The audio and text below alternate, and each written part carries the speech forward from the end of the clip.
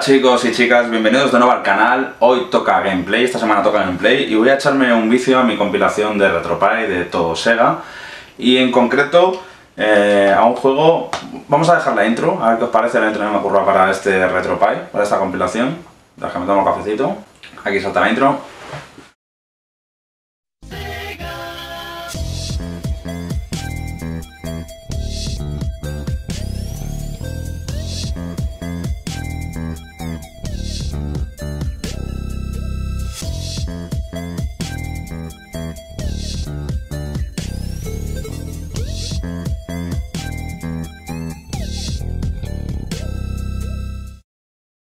Bueno, pues como os iba diciendo, eh, me va a echar un vicio de unos 15-20 minutos a un juego muy muy importante de Mega Drive, ¿vale? Muy muy muy importante en la historia de los videojuegos por varios motivos. El primero de ellos yo diría que es eh, la primera vez que un juego tiene un lanzamiento mundial, eh, hubo un lanzamiento mundial global de este juego. El segundo es que se dio nombre a un grupo de programación, se puso oficialmente nombre al juego por un grupo de programación que había sido censurado por Sega y finalmente se le reconoció el, el trabajo y pudieron firmar el juego y se creó uno de los mayores grupos de programación de la historia de los 16 bits. Estamos hablando del Sonic Team y del Sonic de Hackathon 2 para Mega Drive. Un juego que es el juego más vendido de Mega Drive. Es un juego que lo tenía todo para salir mal. Eh, después del Sonic 1... Después del Sonic 1, Yuji Naka abandona Sega. Eh, porque no le dejan firmar el juego, no dejan que aparezcan en los títulos. Lo hemos hablado de ello, ¿verdad? En el, en el Retro Live, por ejemplo, de, de Another World, hablo de ello, de que... Bueno, vamos a reiniciar y vemos las opciones y tal antiguamente las grandes compañías no querían que sus programadores aparecieran en el staff de los juegos, porque era, era dejarle la puerta abierta, que viniera otra compañía y se los llevara. Entonces no aparecían en el staff, simplemente no podían firmar los juegos, ¿vale? Eh, ellos metieron todos sus créditos en, en el Sonic 1 en una pantalla en negro con letras negras, pero ellos estaban y en un último instante intentaron convencer a Sega de que le dejaran eh, tal, pero no, no hubo manera no hubo manera y bueno, pues al final lo que pasó es que Yuji Naka, el director del juego, el creador del motor, de las físicas de Sonic, eh, con el tema, abandona Sega. Cabreado con el tema por muchos motivos, porque en Sega, por ejemplo, en aquel momento a los programadores les pagaban según la antigüedad de la empresa, daba igual que fueras un Mindundi que hubieras hecho el Sonic. Sonic se convirtió en un bombazo en Estados Unidos y pues a Yuji Naka le pagaban nada y menos, muchísimo menos que a otros compañeros suyos que realmente no, no estaban haciendo nada. Y bueno, eh, por varios motivos, por ese, por el que no dejaron firmar su juego y tal, decidió abandonar Sega. Abandonó Sega y se fue. Entonces, desde Sega of America dijeron, esto no puede ser, o sea, hay que hacer Sonic 2 sea como sea. Desde Sega of America fueron los que apoyaron todo el tema de que realmente hubiera una mascota para Sega, cambiaron muchísimas decisiones de diseño, de hacer un personaje más molón, de ponerle las zapatillas de Michael Jackson, de muchos retoques en el juego a nivel estético sobre todo, ¿no? Y, y necesitaban un Sonic 2, o sea, necesitaban un Sonic 2 como comer. Entonces eh, fueron a por Yuji Naka, le dijeron, mira, vente a Estados Unidos, te dejamos un estudio para que tú hagas lo que te dé la gana y me haces el Sonic 2. Y realmente así fue. Eh, Yuji Naka llegó con casi todo el Sonic Team, no con todo el Sonic Team, pero con casi todo. Y se metió en las oficinas del Sega Technical Institute, un, departamento de Sega que estaba creado para... ¿Aquí hay bonus? ¿Aquí hay bonus? Sí, aquí hay bonus. Los bonus de este juego son bastante complicados, ¿eh? Fijaos qué gráficos. Esto... Estas pantallas de bonus en los Sonic siempre eran la prensa, los chavales, todo el mundo, los críticos, todo el mundo, la competencia, esperaba ver cómo eran las pantallas de bonus de los Sonic porque eran una pasada. Eran punteros, 100%. Estos gráficos en Mega Drive es algo impensable. Bueno, pues la historia es que dentro del Sega Technical Institute, es un departamento de Sega que de, ahí salieron juegos tan interesantes como el Kid Chameleon o como el Comic Zone es en Estados Unidos y tal, se incluyó al Sonic Team, un grupo de programadores japoneses que se fueron a vivir allí, a Estados Unidos, a, crear el Sonic 2 y posteriormente Sonic 3 y Sonic Knuckles. Y bueno, la verdad es que hubo tiranteces de todos los tipos, no querían trabajar con americanos, eh, Sega of America lógicamente aportaba ideas, necesitaba, ponía plazos de entregas, tal, y Yuji Naka no quería eso, Yuji Naka quería que le dejaran en paz y crear libremente y tal. Es un personaje bastante particular, este Yuji Naka, por lo visto, por lo que dicen las biografías sobre él y tal. Es un tío con un carácter bastante especialito, bastante especialito. No llega a ser Kojima, pero casi, casi. Y bueno, la verdad es que este Sonic 2 salió de maravilla. No pudo terminar todo lo que él quería, porque el Yuji Naka es, debe ser ese tipo de persona que es súper... Mira, ha conseguido la medalla. Súper especial, en que tiene que ser todo perfecto, súper perfeccionista y tal. Y al final salió el juego con tres o cuatro escenarios que no estaban terminados. Tuvieron que cambiar las músicas, una serie de problemas, pero bueno, aún así, Sonic 2 era difícil que superaran a Sonic 1 y lo consiguieron. Y les dejaron firmar el juego. Es el primer juego que está oficialmente firmado por el Sonic Team. No todo el equipo de desarrollo se vino a Estados Unidos con Yuji Naka. Se quedó el diseñador original de Sonic, el, que hizo el diseño del muñecajo. No recuerdo cómo se llama ese hombre. Y se quedó en Japón y en Japón eh, tuvo el encargo de realizar eh, un port de Sonic 2 para Mega CD. ¿Vale?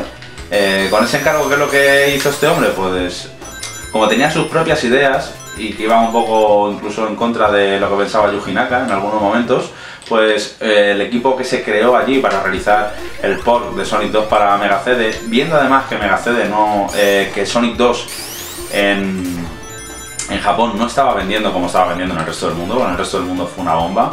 En Estados Unidos no había, no existía otra cosa que no fuera Sonic y en Europa arrasó. En Europa Mega Drive arrasó y Sonic 2 fue un auténtico pepinazo. Pues eh, decidieron implementar ciertos cambios y, nació Sonic CD ahí. Sonic CD realmente tenía que haber sido un port de este Sonic 2 y no lo fue, por fortuna, es otro juego más y la verdad es que está muy muy bien, muy muy bien ese Sonic CD. Bueno, Yuji Naka es un personaje muy especial, eh, desarrolló este Sonic 2 eh, que ya os digo además tuvo un lanzamiento mundial, es el primer videojuego en la historia en tener un lanzamiento a nivel mundial, fue el Sonic 2 Day, un juego de palabras ahí, que Sega of America, Sega of America eran una bomba en aquel, en aquel momento, en, a mediados de los 90, había una cantidad de talento metido en Sega of America para publicidad, dirigido por Tom Kalinske, se, llama, se llamaba el director de Sega of America, que para que os hagáis una idea, ese señor Tom Kalinske, que después ha pasado a la historia por ser el, el que la lió con el 32X, con Sega tal, que eso da para, para un, un retro coffee, la verdad. Ese señor eh, es el que trabajando en Mattel le dijeron, oye, ¿por qué no intentas hacer algo parecido a la Barbie, pero para niños? Y ese señor inventó los Masters del Universo. Tom Kalinske. Es eh, un personaje que hay libros sobre él. Van a hacer una película. En el libro de Console Wars está, está casi todo escrito acerca de él, ¿no? Sobre alrededor de la figura de Tom Kalinske, de la gente de la que se rodeaba. Se rodeaba de muchísimo talento y es un personaje muy muy importante en la historia de los videojuegos. Y como forma de marketing, ¿verdad? Era infalible, contrataron a la agencia que llevaba los anuncios de Nike o de Adidas en aquel momento y bueno, Sega of America tenía unos anuncios, todo el rollo este del canal pirata Sega, de impresionante, impresionante. Y entre esas maniobras eh, de marketing, una de las más interesantes que hicieron con este juego fue el hecho de hacer un lanzamiento a nivel mundial, algo, eso no se había visto nunca. Y fue el Sonic 2 Day, el martes de Sonic, el Sonic 2 Day, ¿vale? Y, fue, una pasada. O sea, Sonic 2 es el juego más vendido de Mega Drive, superando a Sonic 1 que venía en el bundle de la consola. O sea, superar en ventas al juego que viene en bundle con la consola es muy difícil. Es muy difícil y con el Sonic 2 lo consiguieron. ¿Estáis? No pierdan más anillos, majo. ¿Vale? A ver, aquí los bonus ya se empiezan a poner graciosos. Me hacen falta 11 anillos más y tal, no hace más que perderlos. Así que nada, a casa.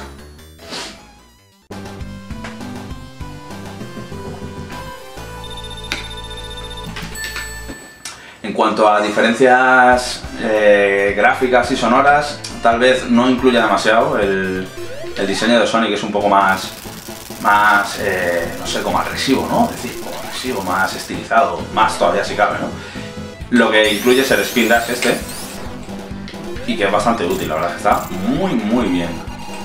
Muy, muy bien. Y bueno, la verdad es que eh, en aquella época, desde la perspectiva de un niño, tú veías a Sonic y veías a Mario, Independientemente de que luego te gustara más un juego u otro, o fuera más de Sega que de Nintendo, o te pelearas en el patio del colegio sobre qué versión de Aladdin era la mejor, que bueno, había, había, he visto peleas en el colegio, pues por eso el Street Fighter 2 Champion Edition es mejor que el Super Street Fighter 2 Turbo, cosas, cosas así, ¿no?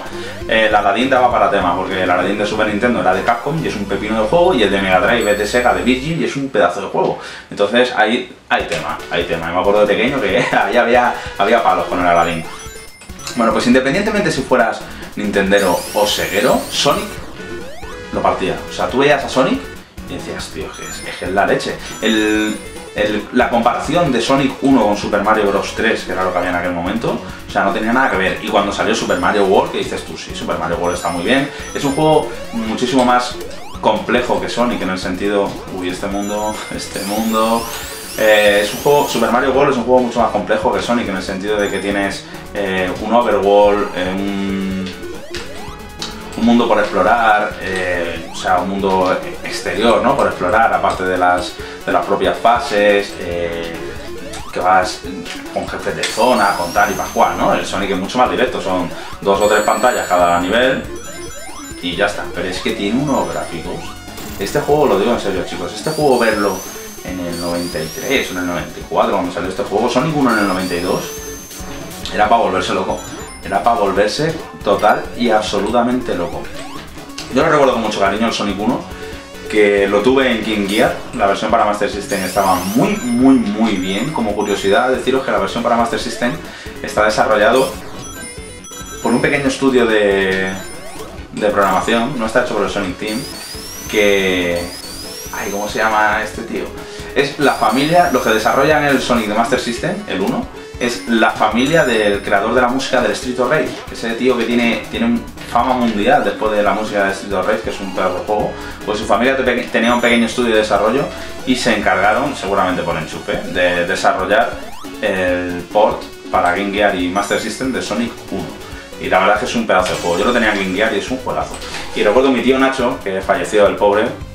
Beso tío Nacho, estés donde estés que, era jovencillo, en aquella época había tener pues 30 eh, años y tal, ¿no? Con sus trabajos y tal, lo más puntero era la Mega Drive. Y se compró la Mega Drive con el pack acción ese, que venía además con el Michael Jackson, con el Moonwalker Michael Jackson, pero bueno, una locura. Me acuerdo, me acuerdo perfectamente. Nos la bajaba a la habitación de mi tío Pablo, nos la ponía encima de la tele la Mega Drive, y él cambiaba los juegos, no nos dejaba tocar la Mega Drive. De hecho, hasta muchísimos años después que mi compañero de trabajo, Joaquín, me regaló la Mega Drive 1. Yo nunca tuve el modelo de Mega Drive 1, siempre tuve la Mega Drive 2, ¿no? Y la que tenía mi tío Nacho era el modelo 1, la Mega Drive 1, ¿no? Y yo veía la Mega Drive 2 y decía, este plastiquete malo, tal, yo creo, creo recordar que la Mega Drive 1 era mejor, pero realmente no lo sabía porque nunca la había tocado, porque mi tío no lo dejaba ni tocarla, no, no dejaba ni tocar la consola.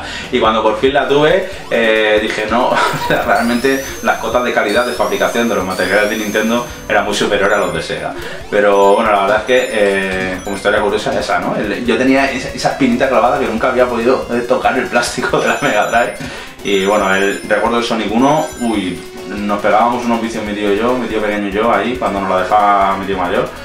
Y, la verdad es que era, era, muy especial, era muy especial, porque era la pieza que teníamos en esa casa, en casa de mi abuela, mi tío pequeño tenía un Commodore 64, que era, era el mío, era el, de mi, bueno, el de mi padre, realmente, que cuando mi padre se actualizó y se pilló una amiga, Commodore Amiga, eh, le dio a mi tío, le regaló a mi tío para casa de mi abuela el Commodore 64 con la unidad de casete y todo. Y entonces, eh, bueno, bueno, nos poníamos allá a jugar, teníamos jugazos, teníamos el Misión Imposible y bueno, ese era súper difícil. El, el Boogie Room, que a ese teníamos un vicio, al Boogie Room, está chulísimo el juego ese, el Boogie Room. Hay, hay, era una versión de recreativa, las conversiones de recreativa para Commodore 64 eran muy, muy, muy buenas. Unas conversiones muy, muy decentes. Y claro, cuando de repente, ¡ah! La liado. Llega mi tío mayor y dice, mira chaval lo que me he comprado. Y saca la Mega Drive con el Sonic, el Moonwalker, bueno, bueno, bueno. La revolución. En casa de mi abuela se formó aquello, fue una revolución total y absoluta. Claro, lo que no sabíamos nosotros es que no les iba a dejar ni tocarla. Pero bueno. Bueno, ver Sonic en los años 90, cuando eras un criajo, era una pasada A ver, que, no palme aquí. este punto concreto de este nivel es horrible, chicos. Horrible. Os recuerdo, este verano me he pasado el 1 y el 2 en Nintendo 3DS, porque la versión 3D que hay para Nintendo 3DS está bastante bien, de los Sonic del 1 y del 2. El 3 no lo hay, por desgracia. Es por un tema... Otra vez no puedes ir. ¡Ah! Es por un tema de... Miguel, me estoy acordando de ti. Hablamos el otro día de esta pantalla de Sonic 2, macho. Eh, es por un tema, el Sonic 3 no está normalmente en las consolas virtuales y tal, por un tema de licencia de la música y tal. Hay una leyenda urbana, anda, como se metido ahí, ¿sabes, macho?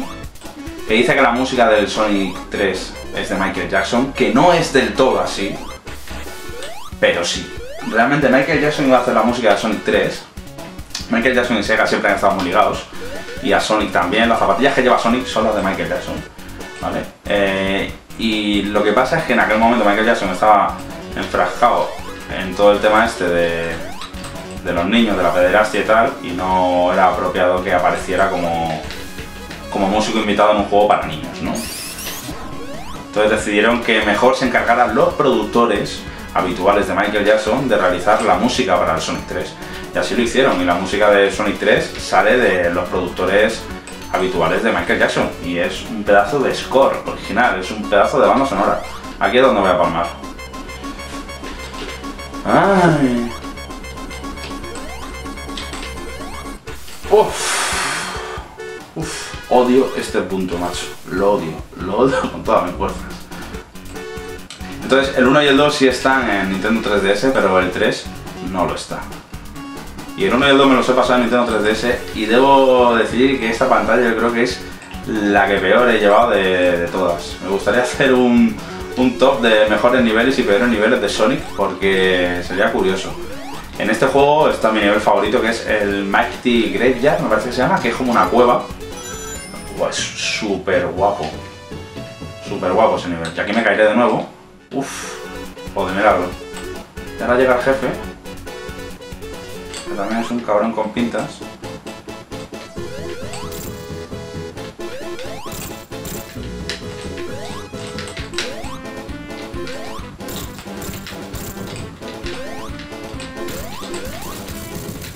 No te caigas ahora, si te caes ahora palmas, ¿eh?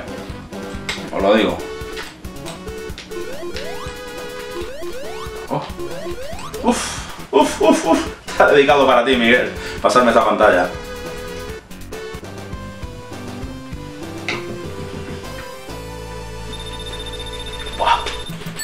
Recuerdo los anuncios de Sonic 2. Aún más rápido, aún más fuerte, aún más increíble, Sonic 2.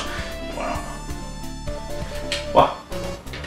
Estas pantallas tienen todos trucos. Mirad qué, scroll, ¿eh? Qué scroll. Ojito, ¿estáis viendo ese Doctor Robotnik de piedra ahí? Eso, escupo un dardo. Ahí, ahí está, a ver. es que van a, van a muerte, macho. Van, van a muerte. Estas pantallas te las puedes pasar sin ir por el agua. Casi todas suelen tener como una especie de atajo por arriba. Estoy notando algo de lag con RetroPie últimamente y no me gusta, voy a tener que trabajar en el tema.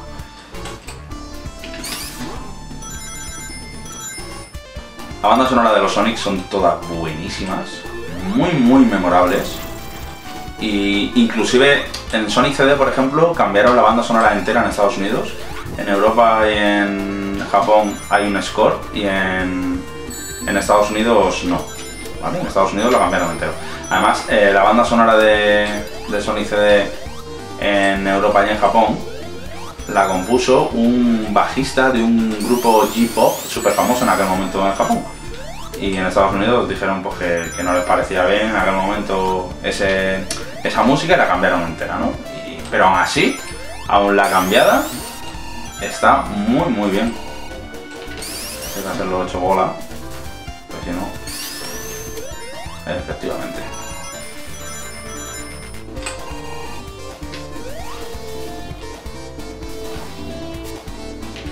Los niveles de scroll son una pasada en este juego. ¡Oh! Tenía que haber saltado. Bueno, aquí está. A ver si consigo pasar la siguiente pantalla por encima. Yo creo que ahora es cuando... es la caída eterna, ¿no? los niveles de agua de Sonic siempre son horribles, así que si puedes evitar el agua, mucho, mucho mejor. Eh, Sonic te lo vendían como si fuera un juego frenético de correr aquí, ¡wow! Es el juego más rápido de la historia, no sé qué. Ya lo ha liado. Ya lo ha liado. Bueno, bueno, ¿qué es esto? Está bugueado. Esto está bugueado, hombre. ¡Qué bug más chungo! Voy a tener que buscarme a ver si va a ser la ROM que está corrupta. Lo que decía, los Sonic te lo vendían siempre en plan... Eh, el juego más rápido que hay, Sonic, no dejes de correr, no sé qué. Luego, como te pongas a correr a lo loco, en Sonic palmas. A ver si no me caigo, no. Ha sido un bug, un bug temporal. Ah, mierda, había ahí... Sí, sí, sí, sí, sí. Venga. Uf. Como te pongas a correr a lo loco, en Sonic palmas, seguro. Sonic es un juego, es un plataformas bastante exigente y con unos diseños de escenarios que a veces son eh, bastante, bastante hijoputas, hay que decirlo, ¿vale? O sea, hay veces que incluso parecen errores de diseño. Los Sonic Advance son terribles. Y estos niveles del agua son bastante, bastante frustrantes. Todo el mundo que se ha pasado los Sonic clásicos recuerda los niveles del agua porque ya estáis viendo, cada X tiempo necesitas coger aire. No es fácil subir hasta la superficie cuando ya has caído aquí abajo, o no. está lleno de trampas, pero hasta un nivel indecible. Entonces, cuando empieza la musiquita esa de que te quedas sin aire, es horrible, vamos. Horrible. El muñeco tiene una inercia asquerosa en el agua, le cuesta moverse lo que no está escrito. Muy bien. Aquí voy a palmar. Venga. Aire. Aire. Uf, uf, uf, uf. Recuerdo el Sonic 1 de Game Gear. Uy, lo que me costó pasarme. Hay una zona de agua súper chunga, pero luego hay otra que es una jungla y tiene pequeñas zonas de agua. Uy, esa es súper difícil, esa me costó pasarme.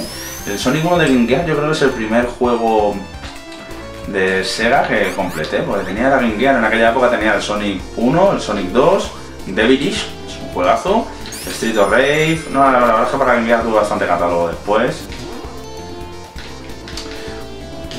Un conocido del barrio de mis padres o de mi tío, no me acuerdo de quién era. Iba al corte inglés y te traía el juego que tú querías por la mitad de precio. Entonces en Gear tuve bastante... Bastante tema. Vale, eso tiene truco. A ver quién dispara. Ahí está el truco. Vale, bien. ¡Oh!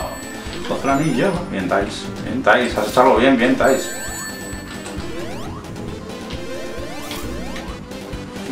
A ver dónde me ponen ahora.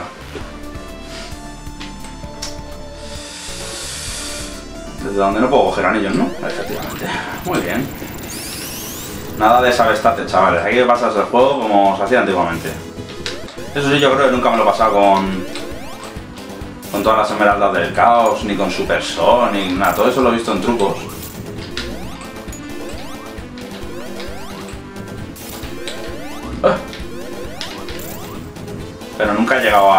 Conseguirlo yo, lo del Super Sonic. Era una pasada. Evidentemente estaba inspirado en Dragon Ball, ¿no? ¿Cómo no va a estar, cómo va a estar inspirado en otra cosa? No, hombre, no, no me fastidies. Son bastante injustos estos enemigos de zona. Este en concreto bastante cabroncete. Venga, anda. Sobre todo que después del checkpoint no te dan anillos. Tiles, haz algo útil, tío.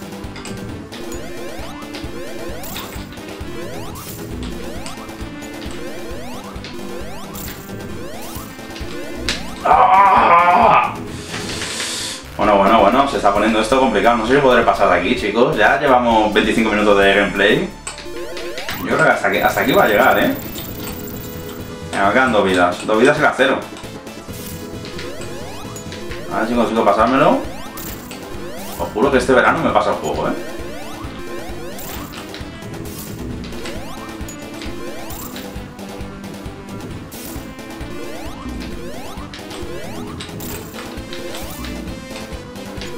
Putada no te puedas subir ahí.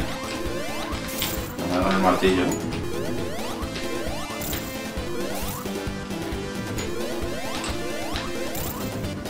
A ver, estar ahí, ¿no? Ay, ay, ay, ay, ay. Ahí, ahí, ahí, ahí, ahí. No sé si viene ahora el nivel del que os he hablado, del de, de la cueva, de la caverna. Mighty Cavern, me parece que se llama. Mighty, no sé qué se llama. Está guapísimo, me encanta. Me encanta la música, la ambientación, los enemigos. Sonic es un juego de los de antes, ¿no? Que se nota el, el mimo y el cariño de que... eh, bueno, la, la zona de casino. De que en cada... En cada nivel tienen sus enemigos de zona, eh, su música, sus sonidos, sus mecánicas. Entonces, bueno. Estos juegos, es- estas pantallas inspiraron Sonic Spinball. Sonic Spinball es, no está desarrollado por el Team Sonic, está desarrollado dentro del Sega Technical Institute y porque eh, no iban a llegar con Sonic 3 en tiempos para una Navidad. Porque querían sacar una Navidad Sonic 3 y no iban a llegar. Y desde Sega of America, para la campaña navideña, pidieron que realizara un juego de pinball inspirado en los niveles de casino, que por lo visto, según las encuestas, era lo que más aceptación tenía. Bueno, la verdad es que lo desarrollaron deprisa, corriendo, sin presupuesto, mal, tarde, fatal, con Yuji Naka dando por culo, diciendo que aquello era una guarrada, que qué estaban haciendo.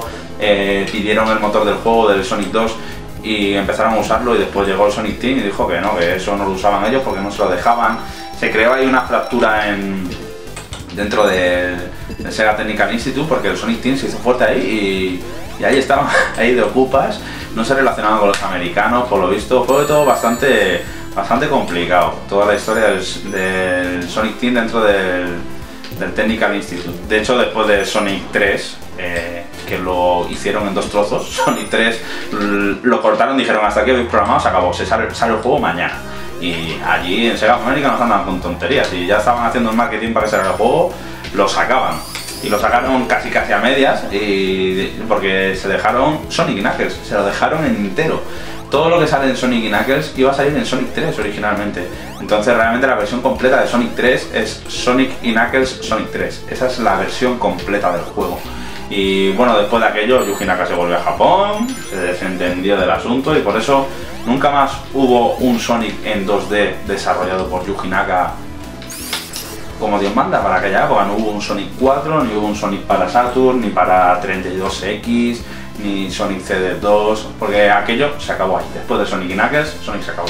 Bueno chicos, aquí voy a dejar el gameplay de esta semana. Espero que os haya gustado. Darle like, dislike, ponedme en los comentarios qué os parece. ¿Cuál es vuestro Sonic favorito? El mío, sin lugar a dudas, es el 3, aunque reconozco que históricamente el más importante, por lo que hemos comentado, es este Sonic 2. Y es el, más, el juego más vendido de la historia de Mega Drive. Un auténtico juegazo. Así que nada chicos, cuidaros mucho. Hasta la semana que viene. Un abrazo. Hasta luego.